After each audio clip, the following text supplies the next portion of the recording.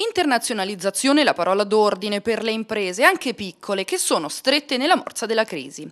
La Camera di Commercio di Pescara e Unicredit, per sostenere il comparto, si uniscono e offrono servizi e formazione per aprire nuovi mercati. Stamattina presentiamo tre paesi dell'est, l'ex Cortina di Ferro, tre paesi che provengono da, dal, diciamo, dall'influenza dell'ex Unione Sovietica che hanno trovato attraverso il mercato europeo grandi opportunità e grande sviluppo. Stiamo parlando di paesi all'interno dell'Unione Europea che, eh, che nel 2014 sono cresciuti con una media di circa il 3% di PIL. Dopo due anni dall'avvio, Unicredit stila un report sulla domanda delle imprese abruzzesi, sulle necessità riscontrate e sulle offerte messe in campo per formare imprenditori internazionali. Negli ultimi due anni abbiamo accompagnato 70 aziende che non esportavano o esportavano in modo marginale, accompagnandoli con nuovi finanziamenti.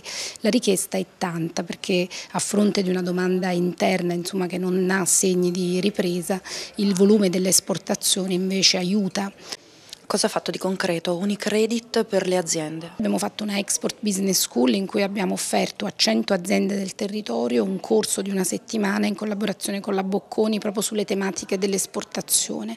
Abbiamo organizzato due B2B in cui abbiamo noi eh, scelto le controparti eh, interessate all'acquisto di prodotti e le abbiamo messe in contatto con le aziende italiane, quindi senza che queste dovessero andare all'estero, pagarsi eh, la fiera, il traduttore ma abbiamo fatto tutto noi qua ehm, a Pescara e a Lanciano, quindi queste sono iniziative molto concrete.